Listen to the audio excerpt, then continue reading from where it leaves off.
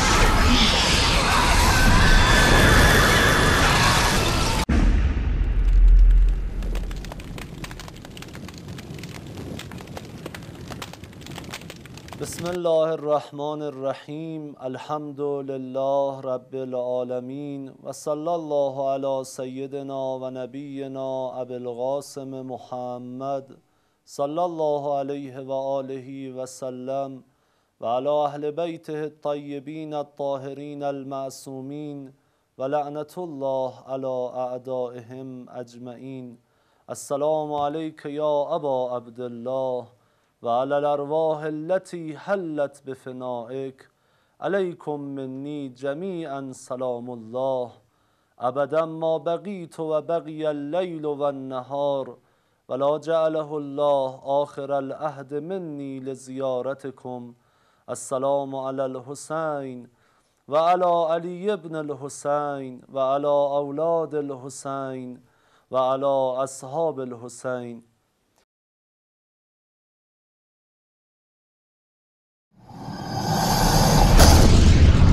دستانت را برآور.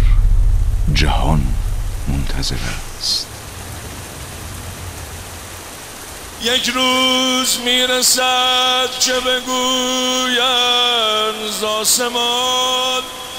آن مرد آمده است کجایید عاشقان؟ آن مرد آمده است که باران عطا کند. تا این کویر غم زده را کربلا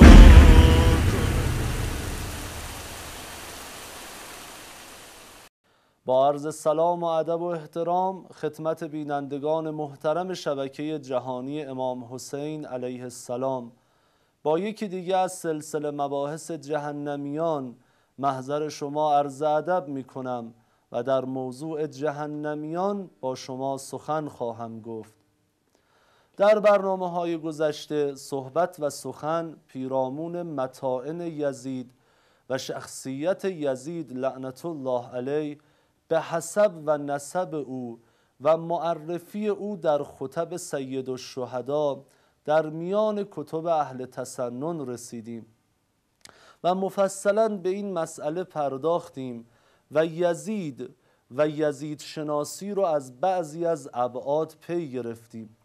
پیرامون فسادها و ظلم و جور یزید لعنت الله علیه سخن به میون اومد و قدری مختصر به بعضی از مسائلش اشاره کردم. اما در این برنامه صحبت و سخنم رو به یکی از ظلمهای یزید اختصاص میدم و پیرامون اون ظلم البته نه من حیث وقوع الظلم نه از باب خود ظلم تنها به بعضی از مسائلی که نسبت به این ظلم اتفاق افتاد اشاره می کنم یزید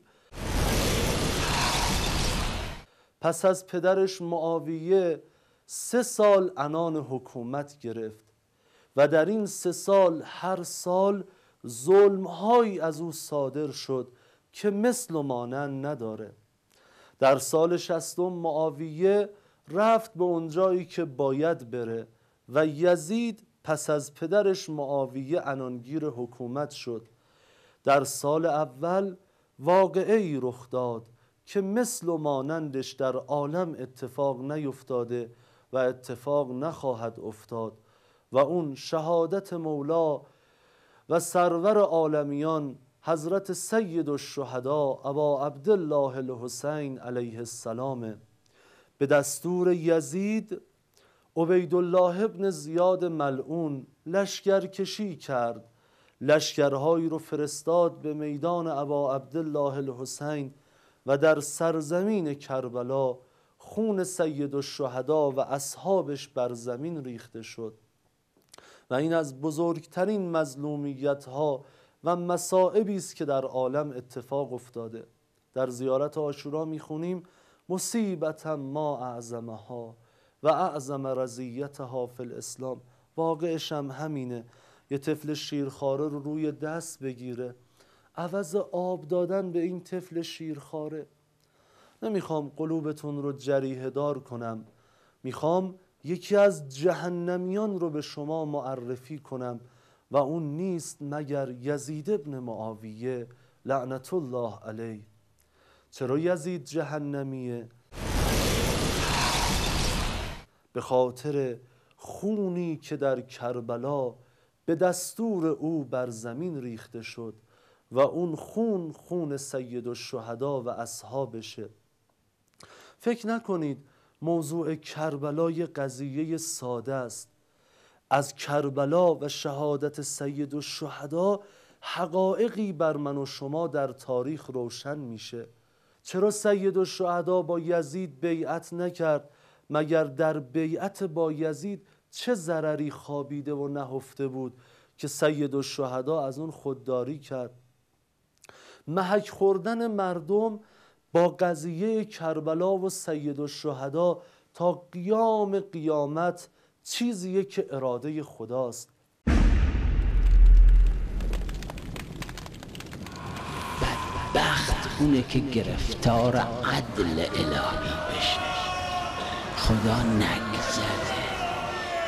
خدا اگه نگذشت دیگه چاره بدبخت اینه. هیچ دیگه بدبخت نیست.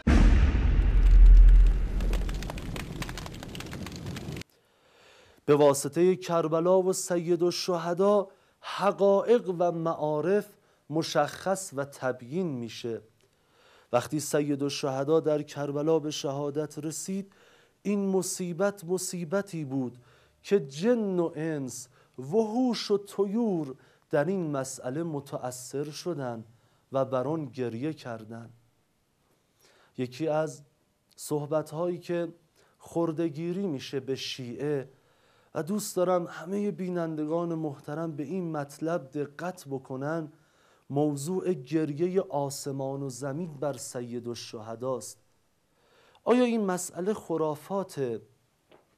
اگر شیعه میگه بکت سما و سکانها جمله است از زیارت ناحیه. بر سید و شهدا آسمان و سکان آسمان گریه کردند. یک آیه قرآن می‌خونم و با این آیه قرآن بر شما ثابت می‌کنم و بر تمام خلق جهان ثابت میشه که آسمان و زمین گریه می‌کنند آیه 29 سوره مبارکه دخان. به به این آیه دقت بکنید. اعتقادات شیعه همه در قرآن مکتوبه. اگر کسی به ما خورده بگیره که این حرفا کجا بوده؟ آسمان گریه کرد بر سید و شهدا. آیه 29 سوره مبارکه دخان. این مطلبی بسیار ژرف و دقیق. ازش استفاده بکنید و بهش دقت بکنید. خداوند عالم در سوره دخان قضیه غرق شدن فرعونیان رو بیان می‌کنه. فما بکت علیهم السما بر فرعونیان آسمان گریه نکرد زمین گریه نکرد. و ما کانو من المنظرین خدا دیگه مهلت رو بر اینها تمام کرد. آسمان و زمین گریه می‌کنه. بر چه کسی گریه می‌کنه؟ گریه آسمان بر چه کسی اتفاق افتاده؟ این آیه مفهوم مخالف داره. بر فرعونیان گریه نکرد پس آسمان گریه می‌کنه. دو بر چه کسی گریه می‌کنه؟ باید کتب رو ورق بزنیم و از کتب اهل تسنن برای شما سخن بگم. اثبات کنم به همین آیه قرآن که آسمان و زمین بر چه کسی گریه کردن. کتابی که اولین روایات رو از اون برای شما می‌خونم. کتاب تذکرت الخواص ابن جوزیه. البته در برنامه های بعد به سندهای دیگه هم خواهم پرداخت و پیرامون این مسئله و اینکه کربلا مصیبت عظماست که جن و انس برش گریه کردن آسمانیان زمینیان برش گریه کردن اشاره خواهم کرد. به عنوان مقدمه بشنوید. گریه آسمان و زمین بر ابا عبدالله الحسین رو از این کتاب تذکرت الخواص ابن جوزی. در کتاب خودش این ابن جوزی تذکرت الخواص صفحه 344 از این چاپی که دست منه شما می‌تونید در موضوع سید الشهدا و اسم بابش هم اینه ذکر الحمرت التي ظهرت فی السما و ما یلتحق بها. ذکر باب در ذکر قرمزی است که در آسمان پیدا شد از روز آشورا. شما این باب رو مطالعه بکنید ببینید چه چیزی در اون نهفته است و به چه عقائدی که شیعه به اون ایمان داره پرداخته و در کتب اهل تسنن ثابت شده. میگه ذکر ابن سعد فی طبقات ابن سعد که از علما اهل تسننه و تاریخش به نزدیک 1200 سال پیش برمیگرده. در طبقات ابن سعد چنین میگه البته من از کتاب سبت ابن جوزی از تذکر مطلب رو نقل می‌کنم. ذکر ابن سعد فی طبقات ان هذه الحمره لم طرف السما قبل ان یقتل الحسین. ببینید مصیبت عظما رو. ابن سعد در طبقاتش آورده که این قرمزی که در آسمان هنگام مغرب ظاهر میشه این در آسمان دیده نمی‌شد. تا اون روزی که سید و شهدا در کربلا به شهادت رسید. وقتی امام حسین کشته شد در کربلا قرمزی در آسمان هویدا شد. قال جدی ابوالفرج فی کتاب تبصره در کتاب خودش به نام تبصره چنین بیان کرده لما کان الغزبان یحمر وجهه وقتی یه کسی غضب می‌کنه صورتش قرمز میشه اند الغضب. فلیستدل به ذالک علا غضبه. این قرمزی صورت میگن این شخص در غضب رفته. قرمزی صورت دلالت میده ما رو بر غضب شخص. چه زیبا مثال زده. و انه امارت و سخط و این در حال غضب و ناراحتیه. و الحق سبحانه لیس به جسم خداوند متعال که جسم نیست اما در مصیبت سید الشهدا خدا غضبناک شده. غضب خدا چطور ظاهر میشه؟ و الحق سبحانه لیس به جسم فاظهر تأثیر و غضبه. علی من قتل الحسین به همرت الافق. خداوند عالم تأثیر غضب خودش رو بر قاتلین سید الشهدا نشون داده. با ظاهر شدن همره قرمز هنگام افق و هنگام مغرب. در طبقات میگه این قرمزی نبوده تا روز آشورا پیدا شده. ابوالفرج در کتاب تبصره که جد این صاحب تذکرت الخواصه بیان می‌کنه علت این غضب رو و علت این قرمزی رو. تا ادامه میده صحبت بسیار زیباست. اینها نکاتی است که شنیدنش لذت داره. آیه قرآن چی میگه؟ یادتون نره. آیه سوره دخان میگه بر فرعونیان آسمان و زمین گریه نکرد. مگر آسمان و زمین گریه می‌کنه؟ بله. گریه می‌کنه. بر فرعونیان گریه نکرد. بر چه کسی گریه می‌کنه؟ بر ابا عبدالله الحسین. ادامه داره. بشنوید. روایت بسیار زیباست. نه یه نفر. تعداد زیادی نقل کردن و برا ما خبر دادن. تا سند می‌رسه به اینجا. ان موسی بن هلال ان هلال ابن زکوان. قال لما هلال ابن زکوان میگه چطور باید معنا کرد این جملات رو؟ میگه دو ماه یا سه ماه. ما وقتی می‌رفتیم در ساحل دریا احساس می‌کردیم و می‌دیدیم که ماهیان دریا رنگشون قرمزه. عجیب نیست. حق همینه. حیوانات زی شعورند ببینید موضوع حیوانات رو در قرآن. نسبت به موضوع کربلا واکنش نشون دادن. اثر ازشون ظاهر شده. و باز هم ادامه داره مطلب و قال ابن سعد ما رفع حجر فی دنیا ابن سعد میگه هیچ سنگی رو تو دنیا بر نمی داشتن. تمام عالم. سر تا سر دنیا. هر سنگی رو از زمین بلند می‌کردن الا و تحته دم عبید زیر هر سنگ و ریگی که از زمین برداشته می‌شد خون مشاهده می‌شد.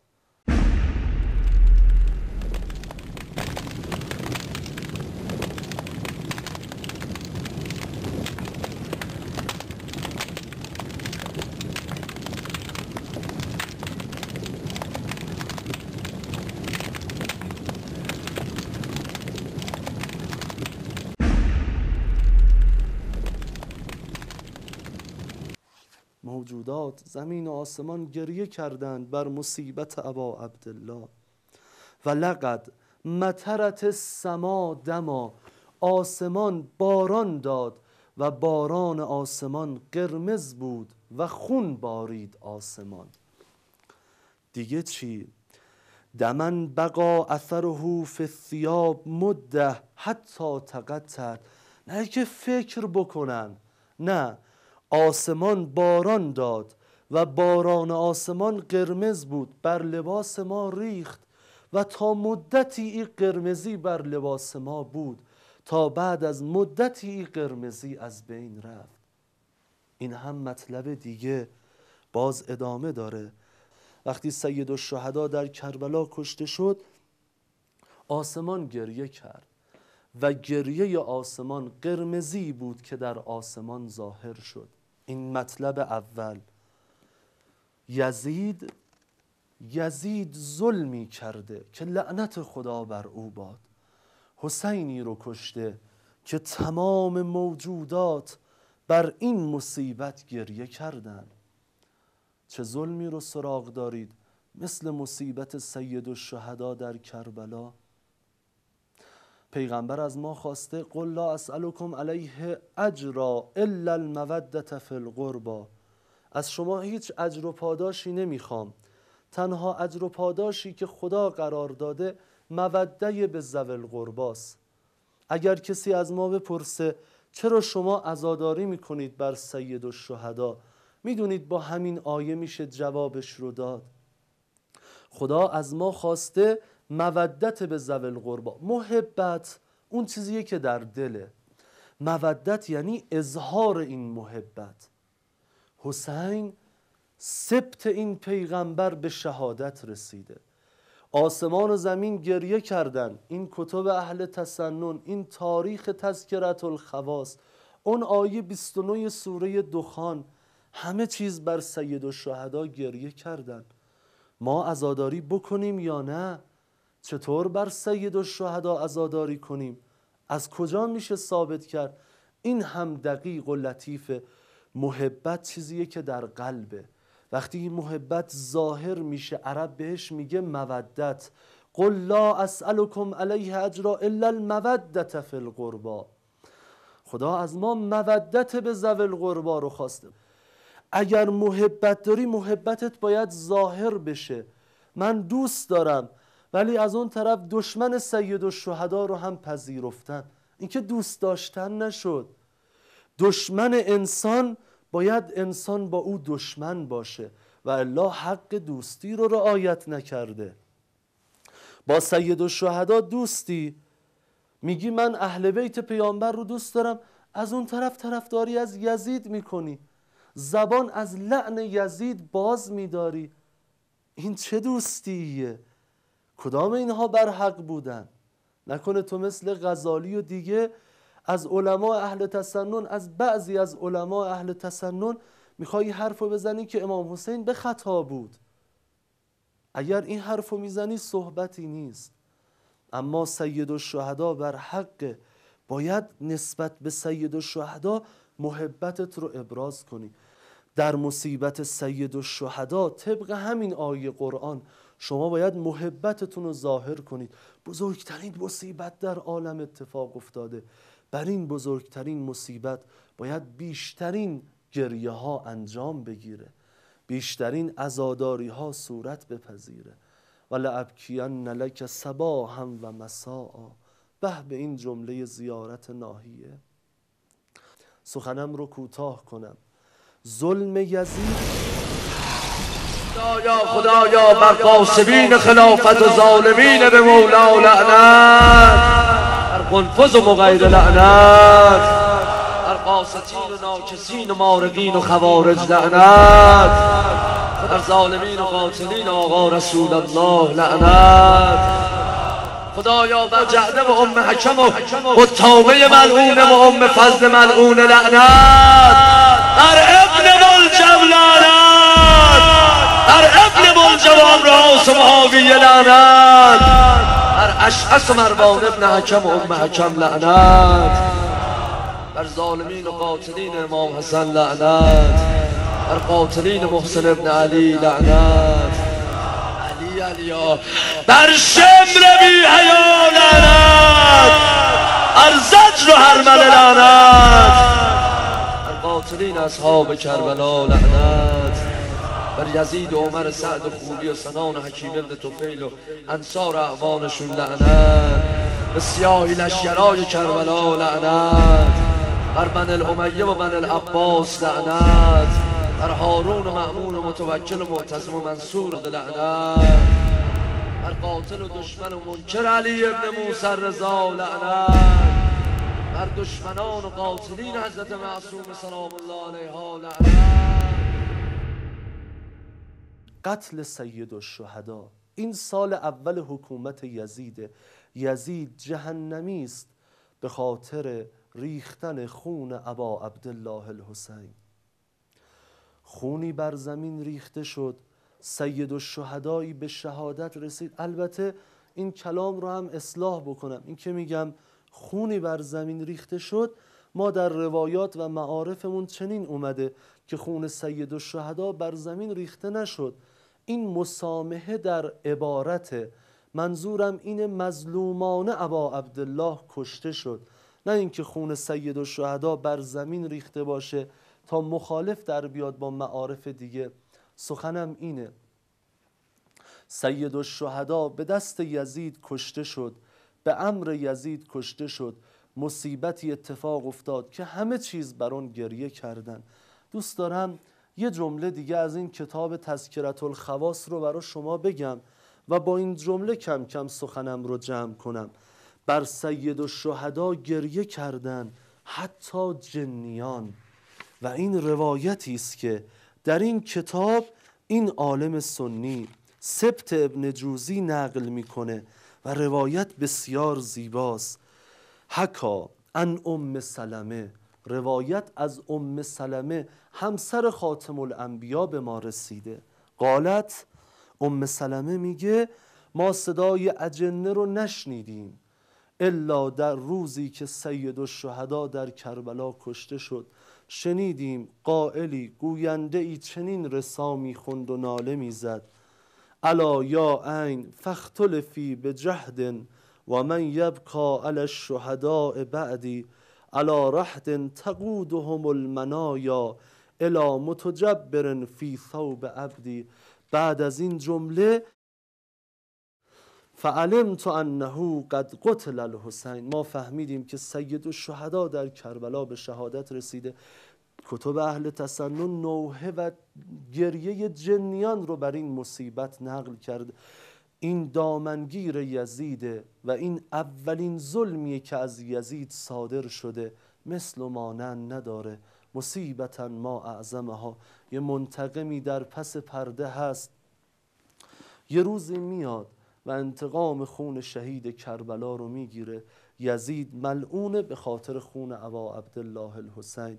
این سخن رو داشته باشید تا به مسائل دیگه پیرامون کربلا مختصرا در برنامه بعدی اشاره کنم و بعد به جنایات دیگه یزید برسم و پیرامون اون سخن بگم ان الله تا برنامه بعدی و شرح این مطالب با شما خداحافظی می‌کنم شما رو به خدای بزرگ می سپارم اللهم الان اول ظالم ظلم حق محمد و آل محمد و آخر تابع له علی ذلك اللهم لعن الاصابة التي جاهدت الحسين و شایت و بایت و تابت علی قتله اللهم لعنهم جميعا اللهم عجل لوليك الفرج و السلام علیکم و رحمت الله و برکاته وليجتهدن أئمة الكفر وأشياء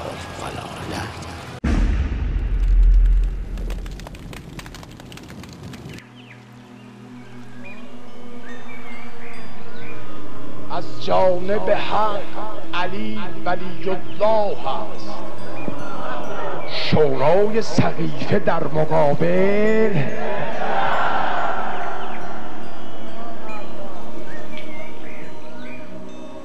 جز پای علی در ابد و ده ردی نیست. تکیه به علی کن که به جز او مددی نیست.